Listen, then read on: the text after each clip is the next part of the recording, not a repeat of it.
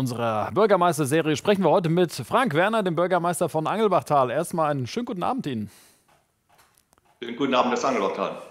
Herr Werner, Sie werden sicherlich auch gestern Abend auf das große Konjunkturpaket der Bundesregierung geschaut haben. 130 Milliarden Euro, auch in den Kommunen soll einiges ankommen. Peter Kurzer, Oberbürgermeister von Mannheim, sagte mit Blick darauf, dass die Maßnahmen zur Bewältigung der Krise Chancen für dauerhafte Veränderungen schaffen. Würden Sie so zustimmen? Sehen Sie auch da eine Hoffnung für die Kommunen, gerade für Ihre? Das glaube ich schon. Also es ist, denke ich, sehr wichtig, dass jetzt gerade in dieser Zeit wir auch wieder in der Wirtschaft durchstarten, dass wir wieder Fahrt aufnehmen. Und da kommt das Projekt absolut richtig, zur richtigen Zeit jetzt auch. Was muss denn auch tatsächlich geschehen oder wo glauben Sie, ist es wichtig, Stellschrauben in den Gemeinden anzuziehen?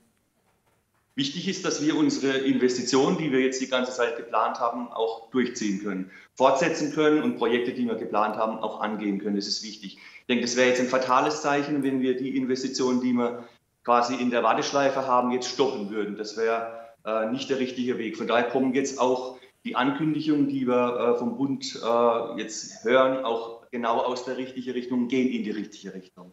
Hm. Wir hatten es ja gerade eben im Beitrag gesehen. Die Dame darin sagte, ähm, sie wolle die Gelder, die zusätzlichen, am liebsten auch regional einsetzen. Also sprich die regionale ähm, äh, Wirtschaft auch dann unterstützen. Spüren Sie einen solchen Zusammenhalt auch bei Ihnen? Gibt es da ähnliche Äußerungen?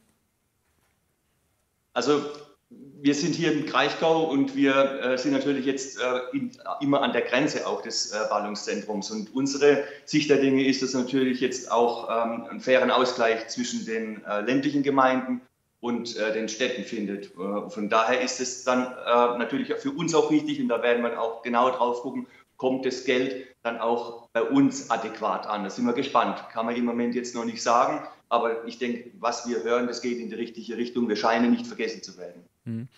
Wofür ja Angelbachtal absolut bekannt ist, das sind die Highland Camps. Die sollten eigentlich in einem Monat stattfinden, sind für dieses Jahr abgesagt worden. Wie bitter wiegt denn auch das?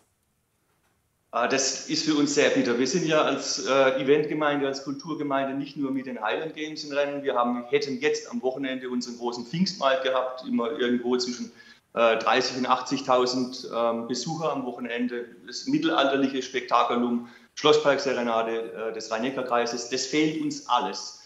Äh, was natürlich jetzt gerade in Sachen Pfingstmarkt auch von erheblicher finanzieller Bedeutung für unsere Vereine ist, da sich die über den Pfingstmarkt äh, finanzieren. Das trifft uns auch in der örtlichen Gemeinschaft natürlich sehr hart. Mhm. Mein ganz anderes Thema, ich weiß nicht, ob Ihnen diese Frage so schon mal gestellt wurde. Fritz Brandt, Ihr Amtsvorgänger, der ist knapp 30 Jahre im Amt gewesen. Streben Sie eigentlich eine ähnliche Dauer an?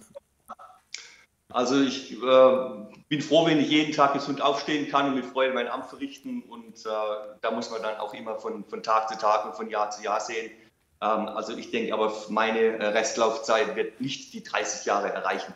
Ja, aber so oder so wird offensichtlich Kontinuität in Angelbachtal groß geschrieben. Erstmal herzliche Grüße Ihnen, Herr Werner, und beste Grüße natürlich auch an die Bürger in Angelbachtal. Herzlichen Dank Ihnen.